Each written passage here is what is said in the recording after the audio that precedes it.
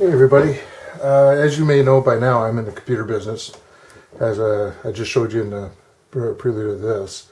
Uh, this is an old motherboard. I know you can only see the center part. I'm trying to make it to where you can see um, in detail uh, with the light.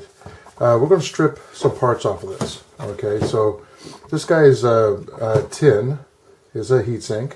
These are copper coils that, that's all over the place. Uh, there's one here, here, here, here, and I think there's a third one or fifth one someplace. Maybe, yeah, over here. So we're going to take a pair of uh, needle nose pliers and you're going to grab this. It's going to lift up. Okay, we're just going to move it back and forth. Glad the camera is not on the table because I'm shaking the daylights out of the table right now. But uh, they'll eventually break. And you, you'll do this with all all uh, five of them. And that's copper, and that could be turned in. Don't worry about taking it off of the core, because they, will uh, compensate for that. All right, uh, I'm not going to take all of them off because I'll make it a longer video. Uh, this this guy already broke free, so that's why I have this one. This one I already took all the coils off. I have not broken free this. So what you want to do before you unclamp it, listen listen carefully. Okay, so that broke the heat sink on top of the chip. So, so uh, you got to do that first. This is already done. You take this this guy, all right, right here, and you push it down to come out. Take the needle nose, push it down, and pull it back. You do the same thing on this guy here. Pull it back, and now you have a heat sink. All right, don't worry. You don't need to take this. Uh, I don't know if that'll come out. I don't think so. But that's uh, that's uh, sheet metal. It's not plastic and uh, they put into the side of a computer case that you're going to take to uh, the salvage place. You're not taking to a recycle center because you won't get any money for it. The other thing is the big heat, heat sink that went on top of uh, uh the processor. That's uh, tin also. So uh, and nice heavy. That's nice. You know that's got to be a good um, eight to ten ounces. So I'm going to put that with that. All right, and then um, over here on this side you're going to need a, a little um, ratchet.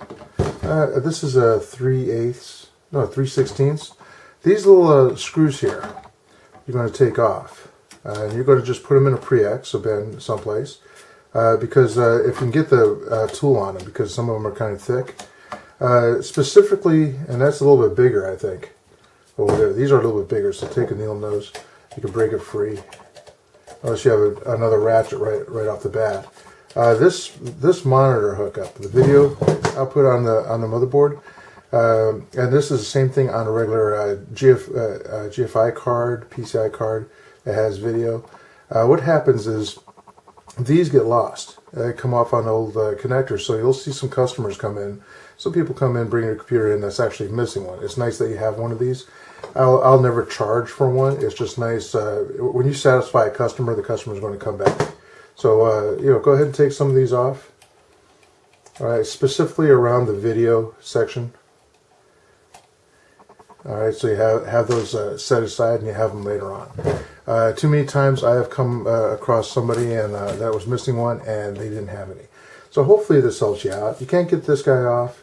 Um, these, uh, it's just useless. All right, um, but definitely the, the copper you want to take off. So I'm going to take the rest of these off. I already took the one from the old one off. Uh, I'm going to take that tin piece off of this guy. Once again, so you don't have to play it back, you just take uh, take this, and move it back, take that one, move it back, and you have it off. It's, it's uh, and you just put it with all the all the tin you're going to turn in. So I'm going to take a bunch of motherboards to the dump, not to the dump, salvage place today. Uh, I'm getting ready to load them up into my Jeep and uh, take you out in the garage and show you that. All right, so be right back.